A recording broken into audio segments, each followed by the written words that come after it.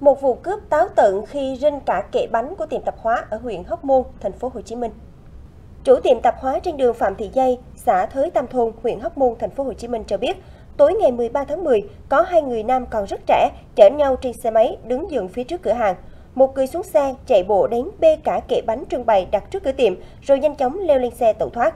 Chủ tiệm tạp hóa cho biết từ đầu năm đến giờ, đây là lần thứ tư tiệm của bà bị mất trộm. Mấy lần trước thì ít hơn, lần này thì quá nhiều. Kẻ trộm còn rất trẻ, khoảng 14 đến 17 tuổi. Việc tiệm tạp hóa liên tục bị trộm cắp khiến người dân bức xúc.